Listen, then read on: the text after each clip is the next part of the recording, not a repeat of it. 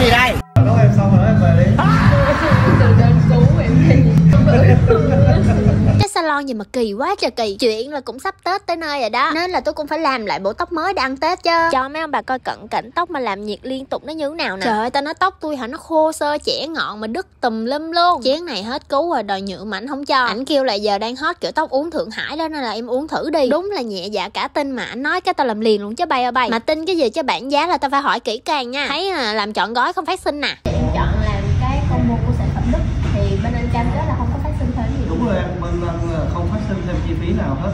Là bây giờ em có thể viên và em sẽ bị giảm. Đúng rồi, em sẽ bị giảm 50% Bây giờ anh chỗ anh cam kết rồi nên thôi cũng yên tâm. Bữa nay quản lý làm gì sai với tôi sao á Mà chỉ tự nhiên mua trà sữa cho tôi? Ta nói uống vô một ngụm nó đã. Tới khúc này ta thấy có điềm sao nè bay ơi. Mấy anh chị cứ yên tâm đi nó nè tao quỳ tao quỳ tao lại mày tao nhận mày mày rồi của tao lại mày mày bớt khùng giùm tao đi ha. Đón chờ dịp nào mới